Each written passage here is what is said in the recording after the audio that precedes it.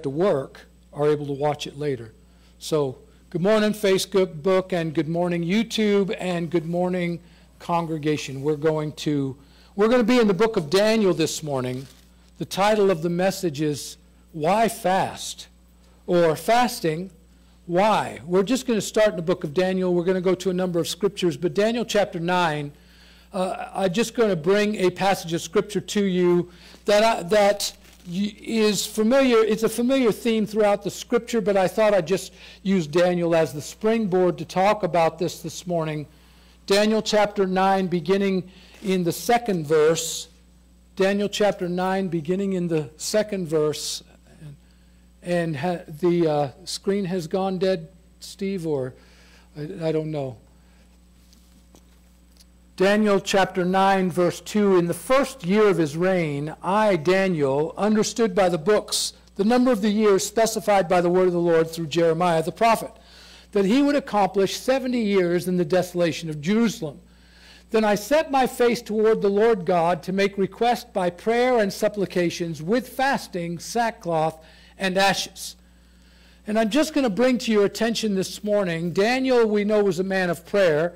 This happens before the lion's den, even though in the scripture it's after the lion's den. Notice that it's the first year of the reign of Darius, and Darius is the king that ends up having Daniel put in the lion's den. If you remember the story, it wasn't Darius' des- desire to put him in the lion's den, but he got tricked, so to speak, into putting Daniel in the lion's den. But this takes place before that happens. It's the first year of Darius the Mede, and um, and he's reading in the scripture and he realizes that Israel got caught, was taken captive, you know the story, to Babylon. And the temple was destroyed, the walls were destroyed, and Israel was laid waste. And God had prophesied that that was going to happen and that they would be taken captive for 70 years. Jeremiah was the one who prophesied it would be a 70 year uh, time that they would be uh, that Israel would be under the judgment of the Lord. And so Daniel, having read that and knowing when he was taken captive and knowing uh, when Israel was, was captured by Nebuchadnezzar, then he sees that it's, that it's time to happen. And it's interesting because this, this always fascinates me. You find in the scripture. Daniel read in the scripture that God said it was, be, was going to be 70 years. So Daniel prayed with fasting, sackcloth, and ashes. The first question I would ask is if God said it's going to happen in 70 years, why bother praying? Because God said it was going to happen. And you have to understand something about the kingdom of God and the ways of God is that God operates and has limited himself to operating in the earth through humanity. He's obviously sovereign. He can do what he wants outside of humanity, but he operates through humanity and limits himself through humanity. So he tells what's going to happen so that people see what's going to happen and start praying for his, his will to be done. I could tell you another story in, in 1 Kings chapter 18. The Lord spoke to Elijah and said there had been a three and a half year drought. And the Lord said to Elijah, Go, show yourself to, to Ahab, and I will send rain on the earth. I will send rain. So Elijah appeared to, so Elijah went and showed himself to Ahab the king, and they had a conversation, and Ahab left. And then uh, something interesting happened. Elijah started praying. For what? For rain. Why are you praying for rain, Elijah? God already said he was going to send rain. And you know the story. Elijah prayed and sent his servant, said, Go look, see if there's any sign of rain. And the servant went, and he saw no sign of rain. And he did this seven times. And on the seventh time, the servant came back and said, I see a cloud the size of a man's hand. And Elijah said, That's it. And took off running because rain came and a torrential downpour, and the famine was over. Go show yourself to Ahab, and I will send rain. And then Elijah started praying. And in this case, Daniel read in the scripture 70 years is going to be accomplished and then Israel will return. And Daniel started praying. And it teaches us this principle Jesus teaches it in the New Testament. And I've said this so many times, but I remind you. Jesus said, When you pray, pray ye therefore after this manner Our Father in heaven, hallowed be your name, your kingdom come, your will be done on earth as it is in heaven. Did you realize that you are the touchstone for the will of God to be done on earth? So, why would Jesus tell you to pray that? Because his will isn't done on earth as it is in heaven. And the evidence that his will isn't done is that people are suffering, and there's pain, and there's sorrow, and there's misery, and there's none of that in his kingdom. Your kingdom come. Your will be done. And so the mindset that everything that happens is the will of God is a false mindset. God's will is not being done. Had a guy say to me one day, he said, So you're a Christian? I said, Yes, I am. He said, What kind of Christian? I said, I'm the worst kind. He said, The worst kind. I said, Yeah, I'm a literalist. I believe the whole thing. I, I, he goes, Oh, and this was not short, this was not long after the Boxing Day tsunami. He said, So you're okay with 250,000 people being killed? I said, you, That's not God's fault.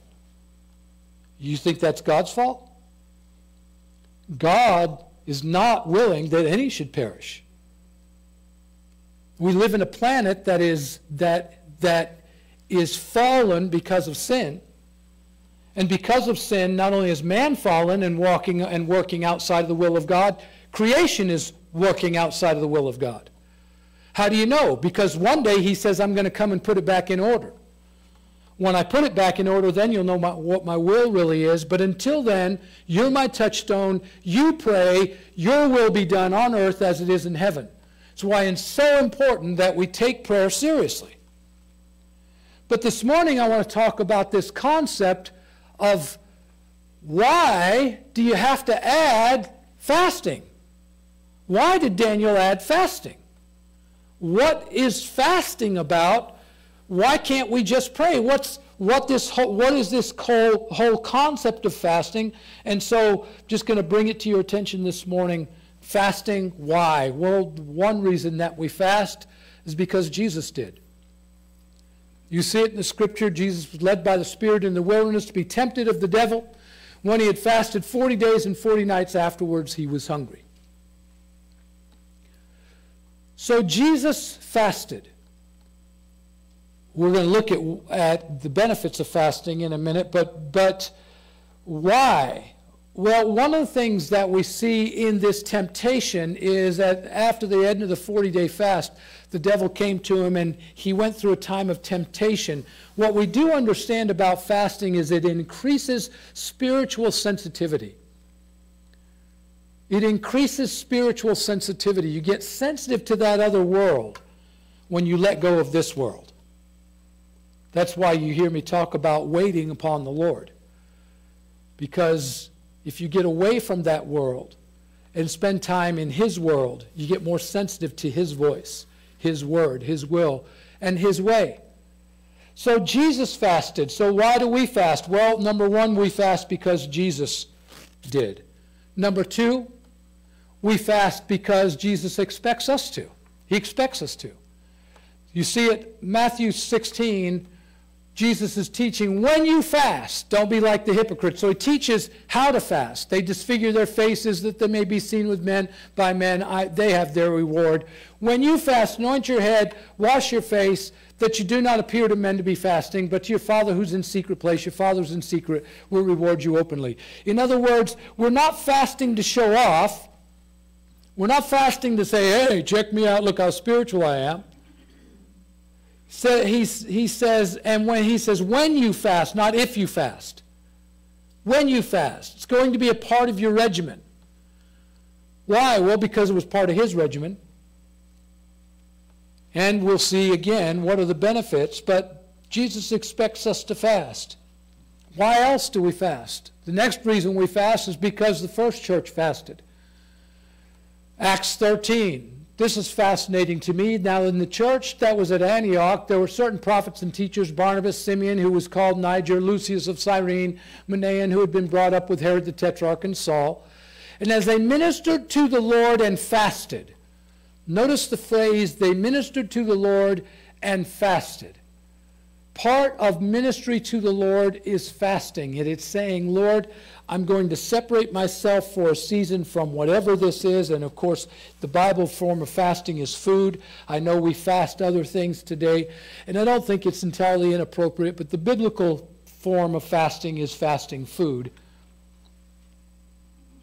As they ministered to the Lord and fasted, the Holy Spirit said, Now speak, separate me Barnabas and Saul for the work which I've called them. Then, having fasted and prayed, laid their hands on them, they sent them away. Verse 3 having fasted and prayed. So they prayed and they fasted. And it went together. So the early church was praying and fasting, and the reason I bring it up is because in some circles in today's Christianity, fasting is not part of the discipline. And if it's not part of the discipline, we're missing number one, that Jesus did it. Jesus expects us to fast. He said, when you fast, and that the early church fasted. So we can't bemoan that we're not seeing what the early church saw if we're not doing what the early church did. I'll say that again because I think it's good enough to repeat.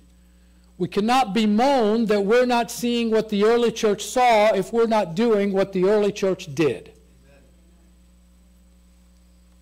So hence the purpose of the fast. And I know we're two weeks into it, and it's kind of late to get started, but if you haven't been fasting, maybe this, this will encourage you to at least pick up the fast for a week, or for a day, or for however. I got it out of order, but the next one is also because the first and this is another passage of scripture. When they appointed elders in every church and prayed with fasting they commanded commended them to the lord in whom they had believed. They prayed with fasting. So they fasted as they prayed for elders looking for the lord's direction on who should be the elders and laying hands on them praying with fasting. Why? Because fasting increases spiritual sensitivity and we need to know who those elders are. Amen. Fasting. Why? Because it's a sign of contrition. Joel says, Now therefore, says the Lord, turn to me with all your heart, with fasting, with weeping, with mourning. So rend your heart, not your garments. Return to the Lord your God, for he is gracious and merciful, slow to anger and of great kindness, and he relents from doing harm. Fasting is a way of, of saying to the Lord, I'm contrite. I'm repentant. I remember early in my walk with the Lord, a minister stood up and he said, Whenever my flesh gets out of control, I go on a fast. And I thought to myself, if I had the discipline to fast, my flesh wouldn't get out of control. I don't have the strength to fast. But fasting is a sign of contrition. Turn to me. It's just saying, Lord, I'm serious about my pursuit of you. I'm serious about coming after you. I'm serious about following you. I'm coming, Lord, with all my heart, and I'm contrite. Fasting, because it's a sign of contrition. Then it goes on to say, why? Because it humbles us. 35th Psalm As for me, when they were sick, my clothing was sackcloth. I humbled myself with fasting, and my prayer would return to my own heart. I would pray, meditate. I humbled myself with fasting. Has anyone found that as they're trying to fast this week, there's a humility that goes with it? Hard to fast and be proud because you realize whatever it is you're fasting, how much power it had over you when it's beckoning you, or when you're hungry, or when you're struggling you're saying, man, I'm, I'm, I can't wait for this to be over. Oh, it's a, it's a humbling thing to see how strong it was. And then we turn to Isaiah 58, which is called the fasting chapter. If you don't know it, you should turn to it. You should know it. You should read it because the, almost the entire chapter deals with the issue of fasting. The first half of it starts out dealing with the fast as it's not supposed to be. And God says, you, you're not getting any answers during your fast because you're violating your fast. And so, so I did not take the time to go through the violation of the fast. Then he turns to the positive and says, this is the fast that I've chosen. This is the purpose of the fast. This is the type of fast. This is what the fast does. God cares for people. Why fast? Because in the fast, not only are you praying for your own spiritual sensitivity, but all spiritual sensitivity and all Christianity turns into service and to ministry to other people. There's no such thing as Christianity that is just solely consumed upon ourselves. If you're Christian for yourself, you're Christian not at all. Your Christianity has to manifest itself in ministry outside of yourself, or you're not Christian. It is how we minister and treat and relate to other people that Christianity becomes real. It's how it's measured. It's how we know we're Christians. We could go into a monastery, that's what we've been talking about in the Celtic way of evangelism, that the Roman form was to withdraw from the world, become a monk, and go into a monastery and, and study holiness. But you can't be a Christian apart from people. And our Christianity has to manifest itself in love and in service. That's how people know you're Christians. Let your light so shine before men that they may see your good works and glorify your Father which is in heaven. So if we're fasting and not ministering, we're incomplete. So why fast? Well, this is the, all I did is I put check, check marks there. This is the quote of the scripture. Is this not the fast that I have chosen to loose the bonds of wickedness? The New Living Testament says to free those who are wrongly imprisoned. We've got to be a people who love justice and hate unrighteousness. To undo heavy burdens, to lighten the burden of those who work for you, the New Living Testament says. We are to be a people who let people go, to let the oppressed go free and that you break every yoke, remove chains that bind people?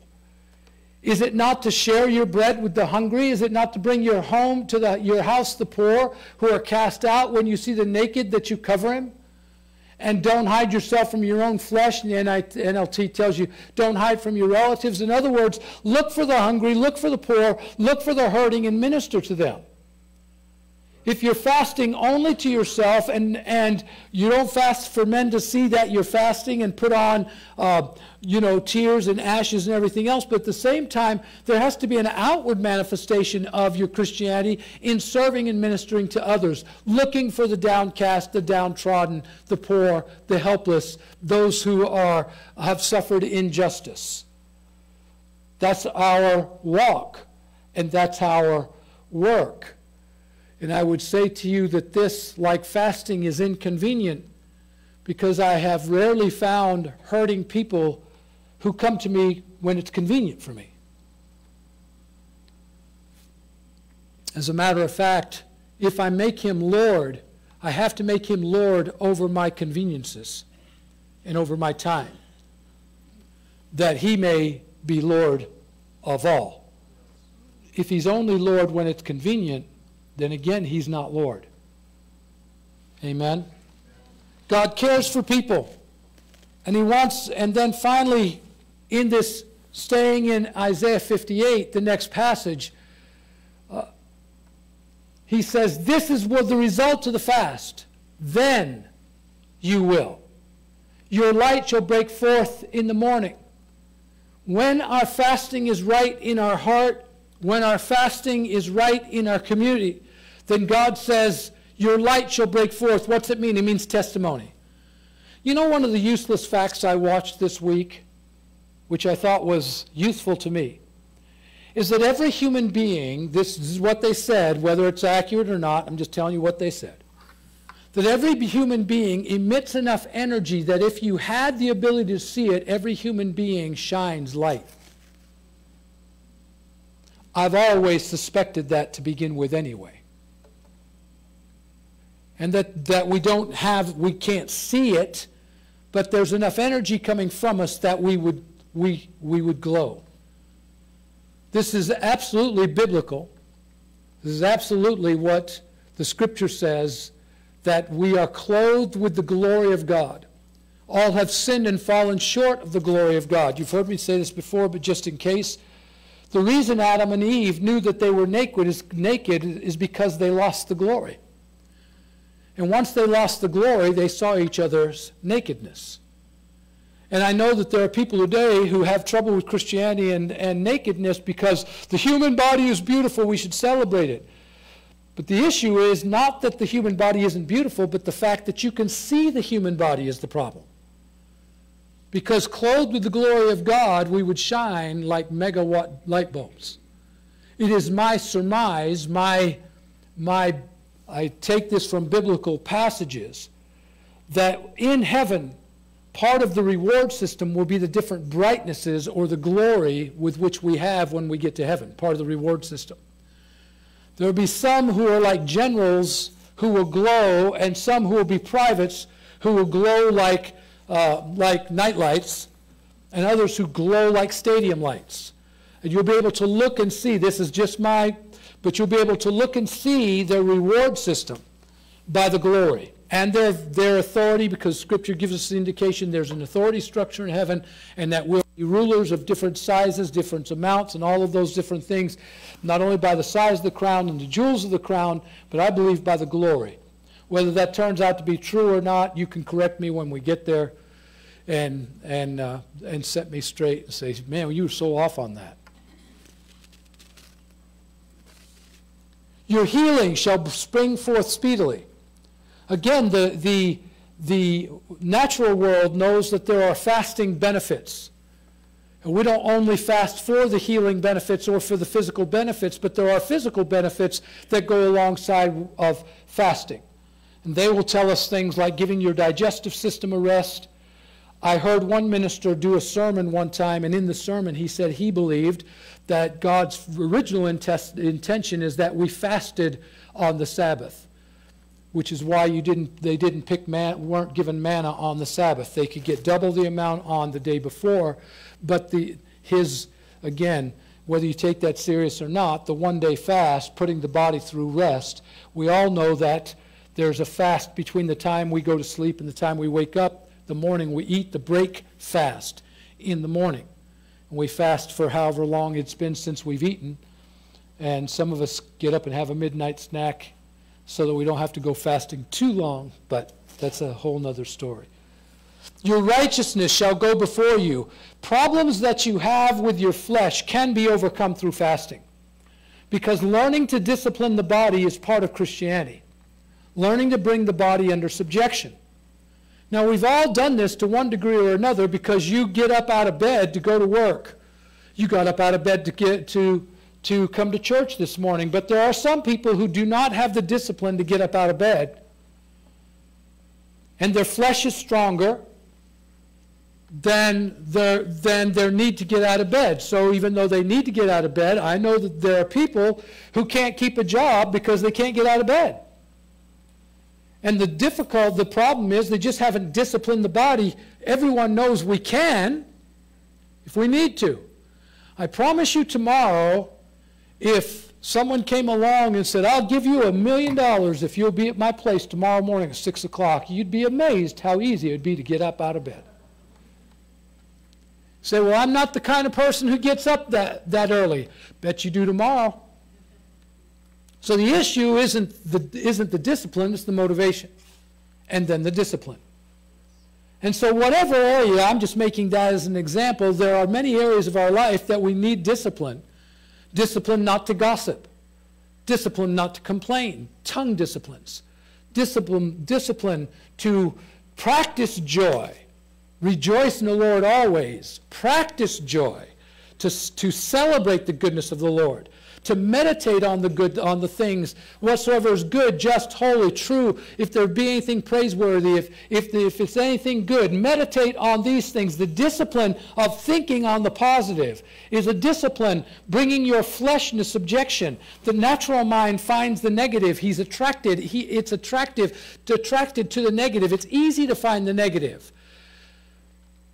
I heard a man say years ago in a sermon that it's that any sinner can preach how sinful we are.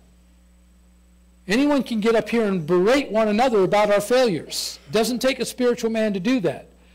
It takes a spiritual man to find that God's goodness that rests over us and draw out that higher calling to pursue the good high calling of God and to see the good in people and to see what God can do, the potential in people.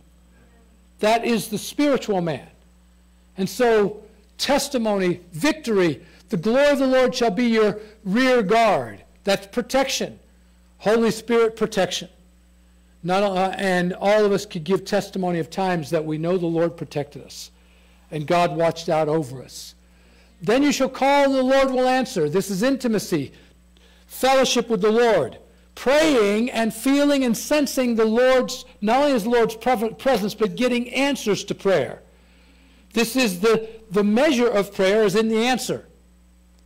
If we pray and don't get answers, we have to become students of prayer and learn what do we need to do to get answers because there's, there's a value in praying, meditating, being still, thinking on these things, but the strength of prayer is in the answer. Jesus wants us to pray in such a way that we get answers. This is the indication that we're children. Which of you, having a son or a child, would ask for bread? Would you give him a stone? My heavenly Father knows what things you have need of before you ask. Ask, you shall receive. Seek, you will find. Knock, the door will be open. These are promises that God gives to us that we should expect answers. And I know that there are some answers that are not yet, or not now, or no. But there are other things where God is saying, press on, stay on, keep praying, keep believing, and you might need to ask, add praying, fasting to this praying, to increase your sensitivity so that I can do what you're wanting, to, wanting me to do. So you remember the story of the disciples that tried to cast out the spirit of the, of the girl, of the, of the child, and they couldn't. Jesus and the disciples came from the mountain, and Peter and John came from the, the James, Peter, and John came down from the mountain, and they found this going on. And he said, Jesus says, "What's going on?" They said, "Well, we tried to cast the spirit out; it wouldn't leave." And so Jesus sighed said, How long do I have to deal with you folks? And he cast the spirit out of the child. And then they turned to Jesus and said, Well, how come we couldn't cast it out? And he said, This kind, he said, because your lack of faith. Howbeit, this kind only goes by prayer and fasting. Something about the fasting that increases spiritual strength and stamina and sensitivity that increases then you shall cry, he'll answer. You'll cry, he'll say, Here I am. The next thing is guidance. The Lord will guide you continually. Next one is satisfaction. Satisfy your soul in drought and strengthen your bones. You'll be like a watered garden, like a spring of water whose waters do not fail. This is ministry again, that people can come and drink from your life. Remember, the fruits of the seeds of reproduction are in the fruit. And so you want to be bearing love, joy, peace, patience, gentleness, goodness, faith, meekness, temperance, and the like, because the seeds of reproduction are in those character traits. Jesus said, or God says in the scripture, these are the results of fasting. So this is where I'm going to go off, um, off my notes into a passage of scripture. Matthew chapter 11, I'm going to finish here this morning. Matthew chapter 11.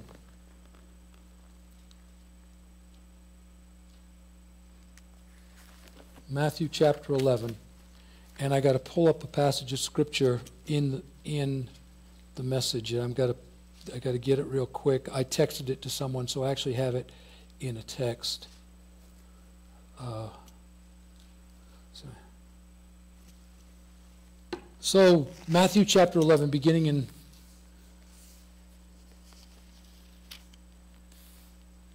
verse 28. Matthew 11, 28.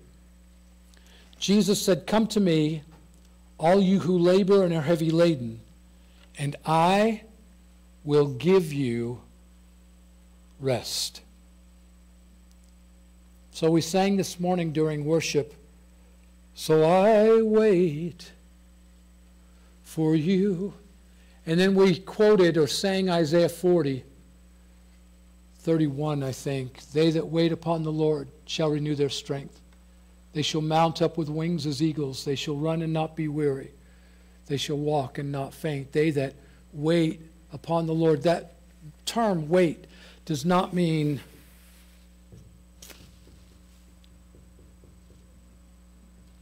It actually means wait as a waiter in a restaurant. They that serve wait upon the Lord, that come. Remember, they ministered to the Lord and fasted. It's not wait for you to do your thing, God. I'm waiting.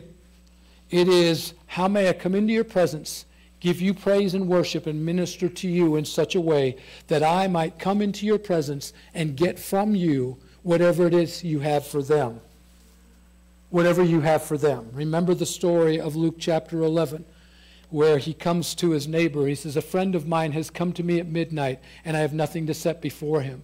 This is a picture of ministry because it's the midnight hour, and we've got to have something to give people. And so he went to his neighbor, and his neighbor says, Do not trouble me, for I'm in bed. My kids are in bed with me. And Jesus said, Though he would not rise and give him because he was his friend, because of his, the King James Version uses the word importunity, his persistence, he will rise and give him as much as he needs. This is what God is speaking and teaching us. It's a midnight hour. We, we have to have something for people. We have to have something for people. We have to have something for people. People don't need your wisdom, your intellect, your knowledge. Smart as you are, they don't need that. There's, there's no shortage of worldly people's opinions and people's they need something that comes fresh fresh baked bread from heaven.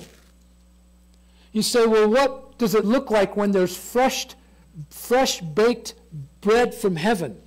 The difference is not the words that you say but the anointing that rests upon the words that you say i remember being in a service of thousands and the minister that was up, up front walked up to the platform. We just had a tremendous worship service with presence of the Lord flowing like a breeze across the place. He walked up to the front and he said, "We need to pray more." And when he said those words, it hit me in the chest with so much power uh, this is on, it. I, I was in the aisles. It's uh, at the front, at the back, but had an open in front of me that I literally fell off that seat onto my face, beginning to cry out to God because the words had so much power in them that I was compelled to pray. That's fresh baked bread. Imagine if you told someone Jesus loves you and it fed them and wasn't just words coming out of natural man to natural man. It's truth, but those who have ears to hear will understand what I'm saying when I say there's a difference between human speak and heaven speak.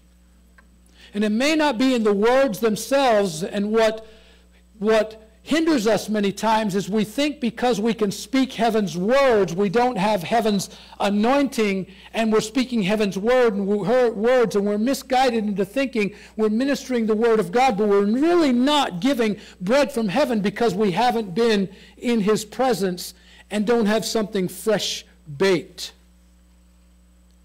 So you can minister to someone and comfort someone and counsel someone and lead someone and guide someone Jesus said, If you come to me, if you come to me, I will give you rest. Take my yoke upon you and learn from me. For, my, for I am gentle and lowly in heart. You will find rest for your souls, for my yoke is easy and my burden is light. The reason I wear tennis shoes in the pulpit is this passage of Scripture. A number of years ago, I was going through a tough time spiritually, and it was Sunday morning, and I was heavy laden, and I was getting ready to get up and preach a heavy message. And the Holy Spirit whispered to me, My yoke is easy, my burden is light. My burden is light. Don't you dare go in there and lay this burden on those people. And so, to remind me of that, I stopped wearing dress shoes and started wearing tennis shoes because, for whatever reason, they make me feel light. And they're a reminder every week in the mornings when I get dressed and in the pulpit keep it light. Why? Because my burden is light. Don't you go in there and lay a heavy burden on people. My yoke is easy, my burden is light. To be yoked with the Lord means that He's easy to walk with. He's easy to walk with. The only problem we have is we chafe. So take my yoke on you and walk with me. It's, it's not that hard to understand getting into a yoke with the Lord. It, we don't often see yokes today. But it just, it's as simple as thinking of an escalator. Let the escalator do the work. You just get in him, in Christ. If any man be in, get on the escalator and it'll get you where you want to go. Or ski lift. A lot of people have been chewed up by ski lifts. But if you get on a ski lift, it'll get you where you want to go. It just means if you'll stay with me, I'll take you where you want to go. My yoke is easy, my burden is light. What, where do you want to go? Well, I want to have peace. He says, Well, you've come to the right place, you who are labor and heavy laden. So I was reading this, this this week, and as, as is my wont, um, sometimes I go to other ver versions to see how do they paraphrase it. The message is a paraphrase, it's not a translation. But I thought I want to see how Eugene Peterson paraphrased this. Here's how he wrote it Are you tired, worn out, burned out on religion? Come to me. Get away with me, and you'll recover your life. I'll show you how to take a real rest. Walk with me and work with me. Watch how I do it. I love this line. This is learn the unforced rhythms of grace. I won't lay anything heavy or ill fitting on you. Keep company with me, and you'll learn to live freely and lightly. And that surely ministered to me the morning I read it. I love that line learn the unforced rhythms of grace. I conclude with this. Years ago, and I have been one, like probably many of you, I have been one who has struggled with striving, comparing myself to others. I'm not good enough. Wanting to be better, wanting to do better, struggled with, stri struggled with striving. I've struggled with depression, like many of you. And in the earlier years, years ago, it was pretty severe.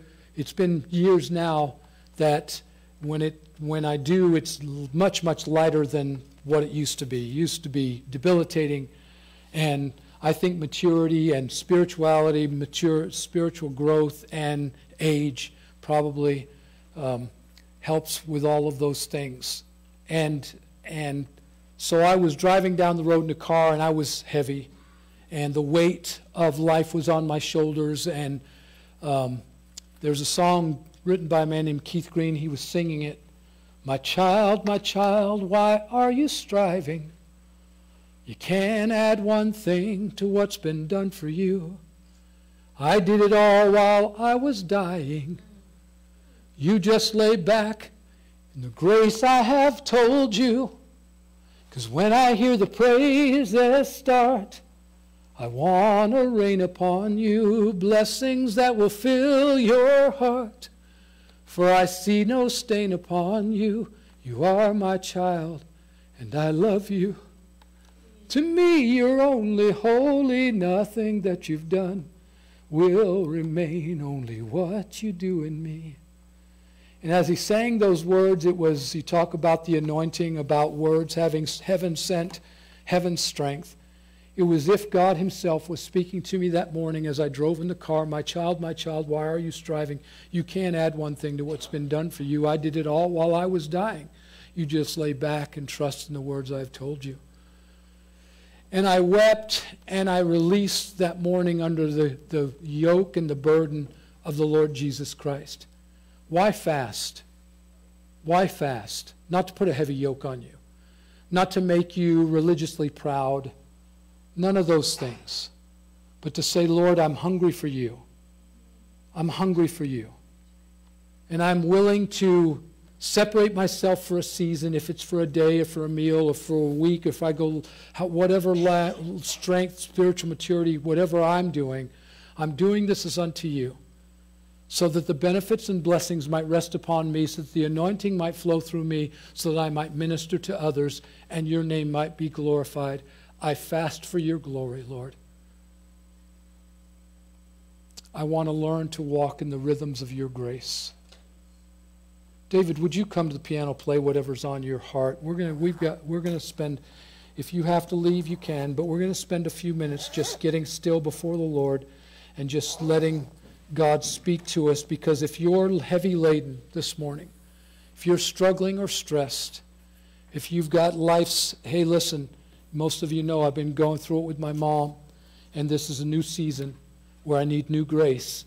It's tougher than I thought it would be, and, and it's not easy. I don't want to talk about it. People come and say, How's your mom? I don't want to talk about it. I, I'm just dealing. Uh, so uh, i am just walking and get and trusting the Lord for grace step by step. And we're doing what we have to do.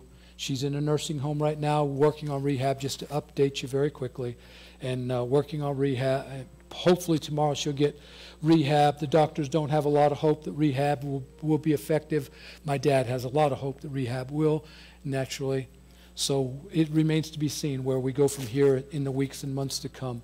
But um, but that's that's that's mine and Deb's uh, um, uh, walk. It's our, it's our walk, and there's grace for every season. So thank you for your concerns and your care and your love and your suggestions and your comments and all that go with it. So before we go home this morning, Lord, you know who needs rest today.